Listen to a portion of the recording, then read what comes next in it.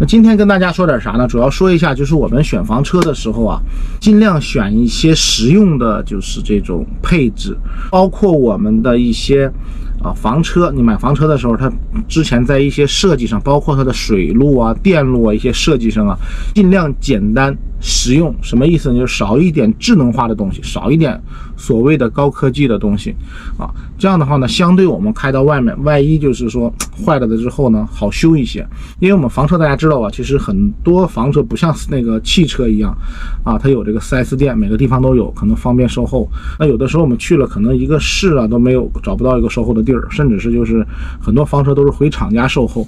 那这个时候你在外面有问题了之后呢，是没办法的，叫天天不应，叫地地不灵的。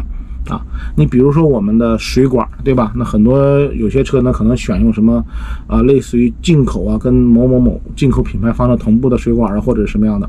那到半路上，如果一旦出问题啊，其实很难弄的，知道吧？你说你买那个卡子，两个管对接呀，这种的可能都买不到。它有一些东西跟我们国内是不太一样的啊，包括有一些就是更高高科技的东西啊，我们就是放在车里面使用的时候啊，你要看它影响程度，对不对？你比如说，我可以拿一个。移动的音箱或者是一个什么什么那个蓝牙，这个无伤大雅的东西，它是娱乐的，无所谓，有它没它都行啊，坏了也不影响，是吧？但是你如果是一个水路，是吧？你坏了之后，然后你当你找配件找不上，这个时候你就很头疼的一个事情，然后你自己又没有什么动手能力的时候，啊，确实很头疼的。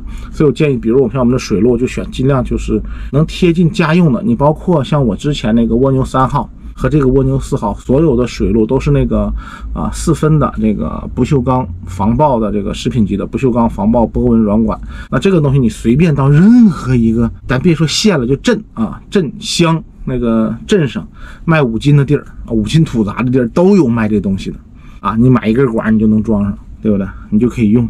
所以说相当简单，相当方便，而且谁都能用，随便找一个人过来能接。你自己略微懂一丢丢原理的女生都能把它接好，你这种就方便一些。那之前像遇到很多小伙伴，他那水管可能就不是，不是这种水管啊，是厂家给配的这种就是细一点的胶管或者什么管的。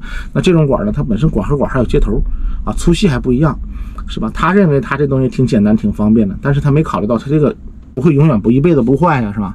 那一旦坏了，咱坏不知道在哪儿坏，是吧？可能在山东，可能在那个山西，是吧？也可能在新疆，也可能在西藏的。你坏了之后怎么办呢？对吧？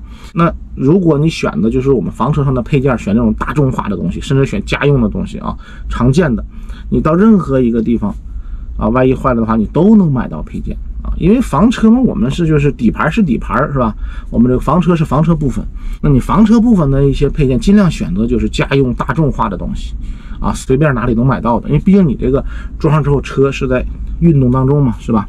包括我们车里的一些保险片呢，啊，一些保险呢，都不要选那些太特殊的，啊，尽量选一些就是我们一般的城市啊，或者是个小乡镇呢，都能买得到的，哎，一些配件。这样的话呢，相对体验感就要。